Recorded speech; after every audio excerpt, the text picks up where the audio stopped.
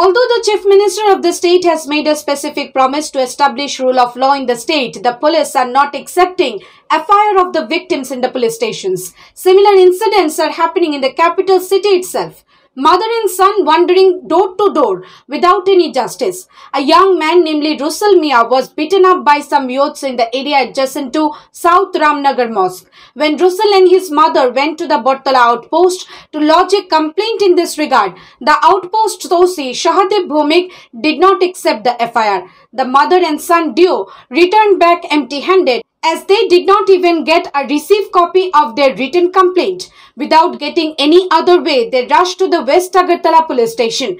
But the situation remained same there. The police of West Agartala police station seized a photocopy of written complaint of Bortala outpost. They asked the mother-son duo to come back in the evening. Disappointed mother-son returned back home without getting any help from the police.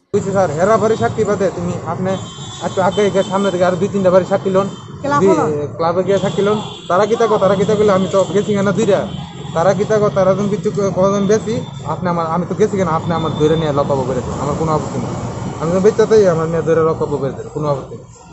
Police উল্টা তো তুই না তুই তোর কথা হইতেছে না তো? একলা লোক কি তোর নামে মিশা কথা হইতেছে? উল্টা আমার পুলিশে দম কর রাগ করলে আমার কুদা নিতে। কত রাগ করলাম তোর লিয়ে দম কর আমার মারবো। এই বতলা জানার কে কইছে এটা? এটা বড় বাবু কইছে সদর sir. Such activities of police have raised several questions in the minds of common people. Doubt remains if the dream of Chief Minister Biplab Kumar Deb to establish rule of law in the state will be even fulfilled in the reality.